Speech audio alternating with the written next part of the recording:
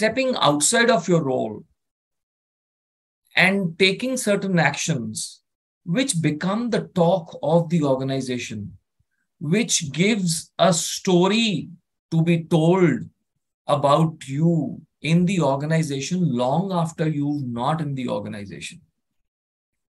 And can you start looking at this right from today's roles that you have and not keeping it saying, hey, you know, when I be- really become a big leader in the organization and then I'll think about it.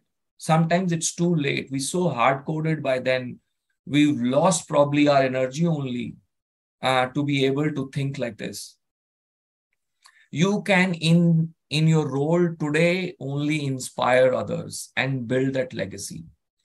So, so first part of building legacy is this: that can you inspire others and you know not necessarily within your immediate circle of influence which is your colleagues that you work with or your manager that you work with but in the larger organization can you take an action? Can you be a champion of csr in the organization for example and lead it from the front?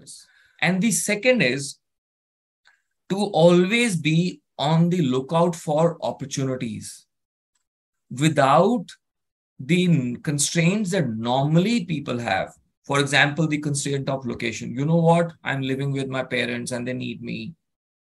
Um, or I'm very comfortable in this uh, city because I have my friend circle there. Um, so, location constraint. Um, or the constraint of um, it's mostly um, self doubt that can I do this new role? Am I even capable of doing this new role? You know, the some of the other constraint is picking up a new skill for a new role or a new opportunity. Do I do I really spend my time picking up this new skill? I'm doing very well in the current role that I am uh, in. I am the top salesperson in this role.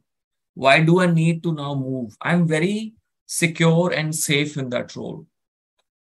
This does not give you accelerated growth. It will give you some growth since you're doing well in the role that you are in. But successful people have always broken molds of the existing career paths in the organization.